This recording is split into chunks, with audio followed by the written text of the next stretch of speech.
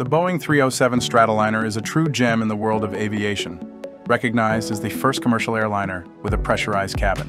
Launched in the late 1930s, this aircraft changed the game for passenger travel by enabling airlines to soar above rough weather, making flights much more comfortable.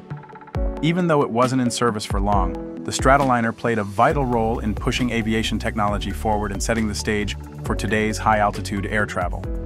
Back in its heyday, the aviation industry was buzzing with innovation, and the design of the Boeing 307 was heavily inspired by the Boeing B-17 Flying Fortress, one of the most important bombers from World War II.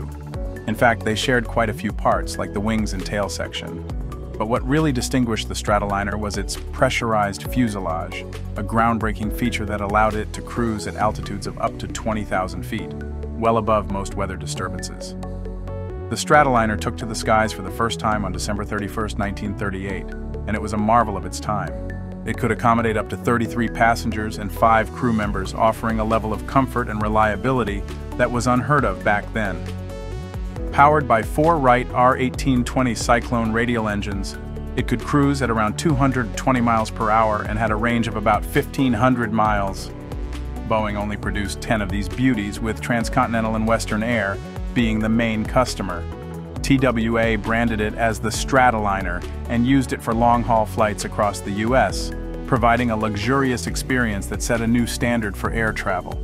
Other airlines like Pan American Airways also took to the skies with the 307, using it for international routes and expanding its influence beyond American borders. However, the onset of World War II changed everything for commercial aviation, and many Stratoliners were repurposed for military use. These planes were rebranded as C-75 and served in the U.S. Army Air Forces, primarily for transport and cargo missions. To maximize their capacity, modifications were made, including stripping out passenger comforts. After the war, the rapid development of newer, more advanced aircraft made the Stratoliner somewhat outdated. Pressurization technology became the norm, and larger, faster planes like the Douglas DC-6 and Lockheed Constellation quickly took over the market. By the early 1950s, most Stratoliners had been retired, although a few found new life in private and experimental roles. One of the most notable Stratoliners belonged to Howard Hughes, who transformed it into a lavish flying penthouse. His personal 307 was heavily customized for comfort and luxury, becoming a symbol of his extravagant lifestyle.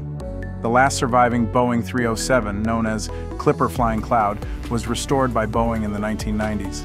After a thorough restoration, it briefly returned to the skies before being retired to the Smithsonian National Air and Space Museum, where it stands as a tribute to early aviation innovation. While the Boeing 307 Stratoliner may not get as much attention as later aircraft, it was a pioneering machine that significantly impacted commercial aviation. By introducing pressurization, it laid the groundwork for the jet age, enabling airlines to fly higher, faster, and more comfortably. Today, the Stratoliner is celebrated as a bold step toward modern air travel, reminding us that significant technological advancements often come in small yet impactful strides.